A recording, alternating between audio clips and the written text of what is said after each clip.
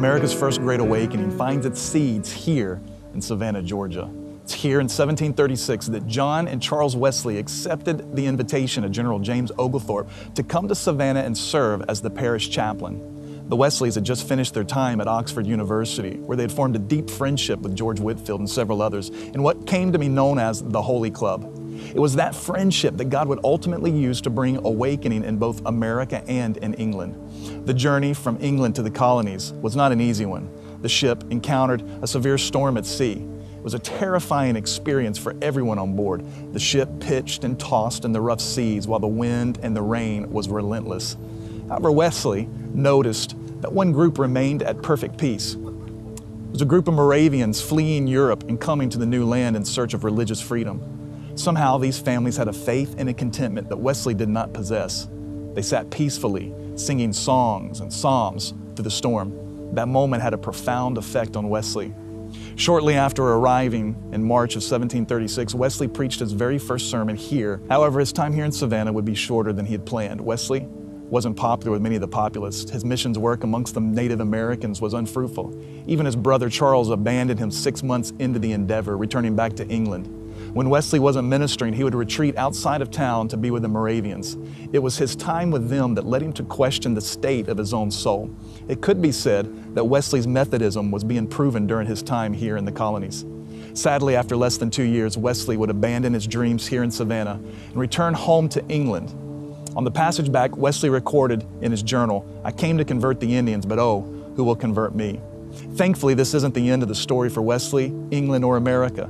Shortly after returning to England, Wesley would have a powerful encounter with the Lord. It's an experience that he wrote about and said it seemed as though his heart were strangely warmed. It was a conversion experience that would propel Wesley from being the failed minister in Savannah to England's preeminent voice during the Great Awakening. Now, back in the U.S., it was one of Wesley's friends from the old Oxford Holy Club that would continue the work. Wesley had invited George Whitfield to come over to Savannah and to work alongside him in the parish and the native people. After Wesley's departure, Whitfield became the parish chaplain. Whitfield was a bold man who detested lukewarm Christianity. To him, it was worse than no faith at all. Whitfield contended that the only kind of faith that pleased God was a fervent, fiery faith, and that was the message that Whitfield preached. His message was rejected in the churches in England. They considered his style to be too sacrilegious for their holy services. So Whitfield took to the open fields where he would preach to whomever would hear him. Though he was rejected in England, he found the colonies to be far more welcoming. Whitfield was a gifted orator who mesmerized his audiences using a voice in the manner of a skilled actor. He was a masterful storyteller, a skill that he used in his preaching. Once he described a storm in such detail that a sailor in the audience cried out, To the lifeboats, to the lifeboats. It wasn't uncommon for people to fall under conviction. They'd fall to the floor as though dead in wailing and in tears and in cries of repentance. Whitefield began to take his message across the colonies. It was these open air meetings that were the first mass evangelistic crusades in America. This became the match that would light the fire of America's Great Awakening.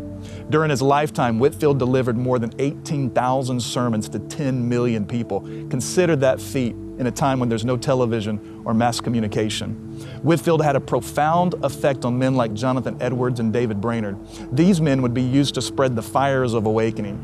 He also had an influence on many of our founding fathers. Whitfield and Benjamin Franklin would become dear friends. Franklin even purchased a meeting house for Whitfield to preach after his friend was barred from preaching in a local church. Cannot deny the religious history of America. I contend that it's impossible to understand the founding of our nation without first studying the Great Awakening in which it was born. You have to understand the messages the founding fathers were sitting under in their churches, the fires in which they themselves were touched by, to understand the language of the Declaration of Independence or our Constitution. God used this great revival to draw the colonies into a closer union.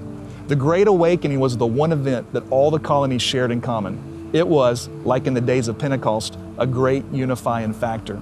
Today, America stands in need of a greater awakening. You know, when you stand here, you find yourself at a spot and you see something truly encouraging. Wesley came with dreams of a great ministry, but he thought that he failed.